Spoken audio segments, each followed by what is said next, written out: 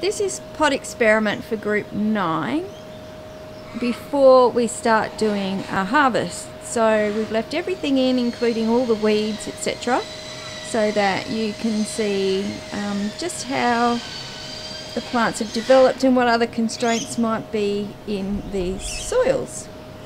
Okay, so I'll start with soil A. So as you can see, the plants in soil A are pretty, pretty sad looking. Not good growth here. There's quite a bit of yellowing. Okay, so the next soil is soil B. So where the plants have grown, they seem to have grown pretty well.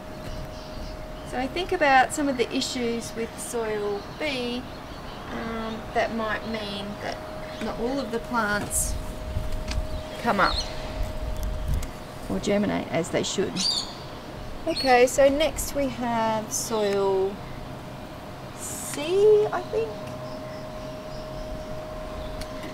So you can see, if I tilt it this way, you can see some good growth in this pot.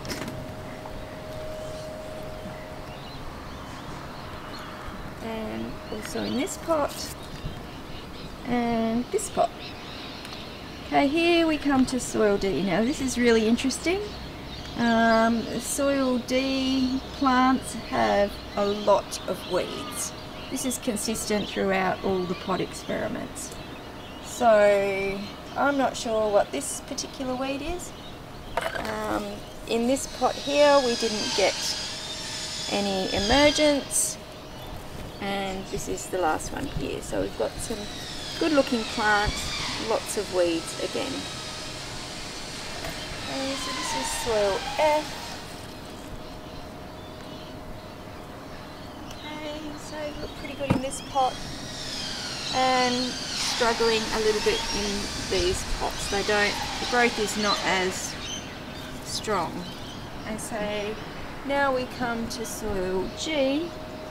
Um, these have fallen over probably because of the way we transported them, but otherwise you can see the plants in soil G are doing, oh sorry this is H, soil H, these ones are doing pretty well.